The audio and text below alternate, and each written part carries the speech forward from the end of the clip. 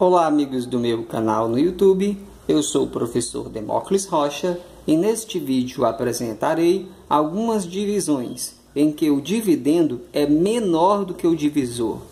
Eu já preparei aqui a tabuada do nosso divisor. Aqui no caso, nosso divisor é sempre o 5 nesses exemplos, tá certo? Então eu fiz aqui a tabuada do 5 para nos ajudar.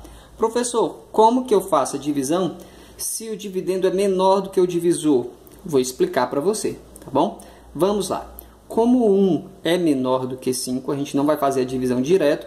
Como 1 é menor do que 5, a gente vai colocar um zero no quociente. Se a divisão fosse com o resto, a gente ia dizer que 1 dividido para 5 deixa quociente 0 e resto 1. Só que a gente quer fazer a divisão completa. Como que a gente vai fazer? A gente vai colocar a vírgula bem aqui, ó, e agora, sempre que a gente quiser, a gente baixa zero. Então, eu vou baixar um zero aqui, ó. Vai ficar o número 10.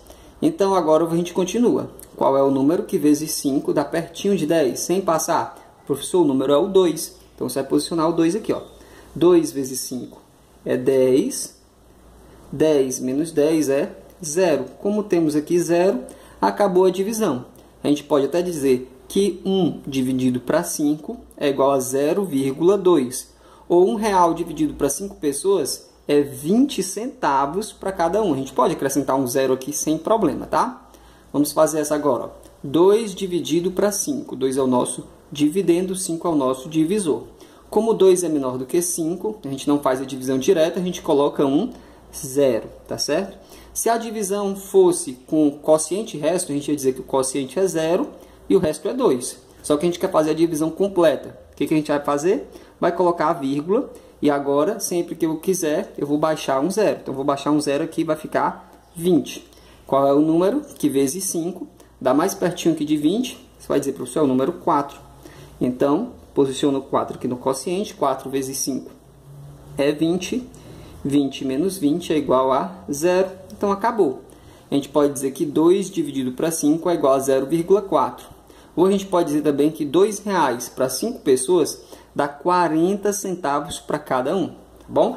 Vamos continuar. Agora você já pegou o jeito, você já sabe como fazer. Como 3 é menor do que 5, não dá, a gente coloca um zero no quociente. Para fazer a divisão completa, a gente coloca a vírgula e baixa zero, né? Então, vai ficar aqui o número aqui, 30. Qual é o número que vezes 5 dá pertinho de 30? Você vai dizer, professor, o número é o 6. 6 vezes 5 dá igual a 30, né? Então, 30 menos 30 é zero. E a gente pode dizer que 3 dividido para 5 é igual a 0,6. A gente também pode dizer que 3 reais dividido para 5 pessoas dá 60 centavos para cada um. Vamos fazer essa última aqui. Como 4 é menor do que 5 não dá, você coloca 0 no quociente. Para fazer a divisão completa, você vai colocar a vírgula e baixar zero sempre que necessário. Então ficou aqui 40. Qual é o número que vezes 5 dá pertinho de 40? Professor, é o 8. 8 vezes 5 dá igual a 40. Então você posiciona o 8 aqui e o 40 aqui abaixo. Faz a continha de menos, não sobra nada? Sobra não, professor. Que bom. Então acabou. 4 dividido para 5 é 0,8. A gente pode dizer que 4 reais dividido para 5 pessoas dá 80 centavos para cada um. Gente, eu espero que vocês tenham gostado do vídeo. Por favor, cliquem em gostei, compartilhem o vídeo, deixem comentários com a opinião de vocês, para que eu saiba se o que eu estou fazendo aqui está bom ou não. Um abraço e até a próxima. Tchau!